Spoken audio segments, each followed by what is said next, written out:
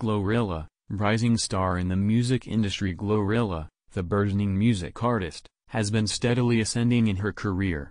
With the release of her latest single, Yeah Glo. Earlier this year, the 24-year-old rapper has garnered significant anticipation from her loyal fan base for her forthcoming debut album.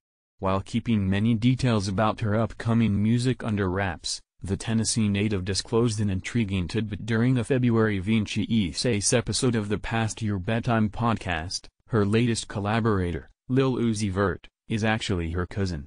During the podcast, Glorilla exclaimed, That's my cousin. That's my real cousin. She hinted at their musical collaboration, expressing excitement about their future projects. Although they haven't commenced work on a song yet, she emphasized their familial connection, marking it as a significant factor in their collaboration. While this may be the first time Glorilla and Lil Uzi Vert are officially collaborating, Glorilla is no stranger to working with fellow artists in the rap scene. Notable collaborations include her hit single FNF, Let's Go, featuring Latto on the remix, and the remix of Tomorrow, titled Tomorrow 2, featuring the iconic Cardi B.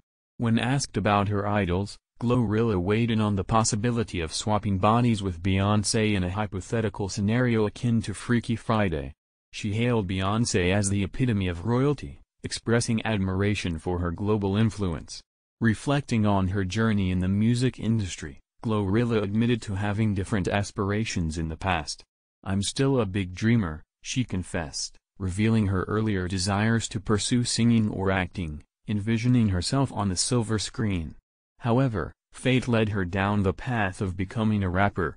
Despite her success, Glorilla isn't immune to controversy. Recently, she faced backlash from social media users after a nip slip incident during an Instagram live session.